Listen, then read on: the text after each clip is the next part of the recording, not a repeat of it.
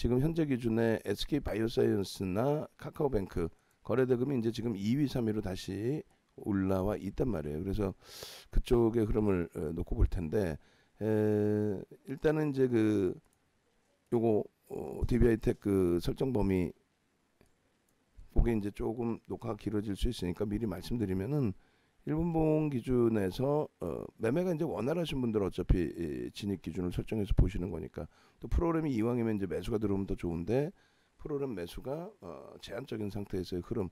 그렇다면 1분봉 기준에서 이제 6만 주 정도 보시면서 29,450 29만 4,500원을 6만 주를 넘기면서 돌파를 시켜주면 어, 그러면 이제 그때 다시 지금처럼 꺾이더라도 49분 이후에 시장 밀리면서 꺾이더라도 어, 그 기준에서 이제 편입의 기준을 설정할 수 있다.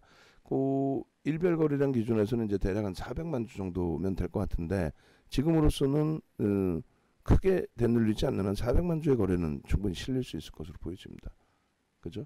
10시까지 30% 기준에 120만 주인데 그 이상 거래량이니까 고점을 계속해서 넘겨나가기 시작한다면 그리고 이제 두 번째 기준은 이제 5분봉 기준에서도 대략 그 아직까지는 거래가 완벽한 건 아니기 때문에 20만 주 정도씩 5분봉 기준에 그래서 1분 봉에 6만 주, 5분 봉에 20만 주 거래를 수반하고 앞전 고점 음?